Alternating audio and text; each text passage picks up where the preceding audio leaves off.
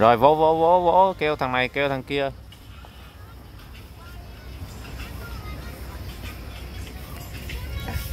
Dạ em đưa cho nè đứng nhìn đứng rồi đưa tay trước camera đưa tay xuống thò tay. Đây này kiểu vậy này. Dạ.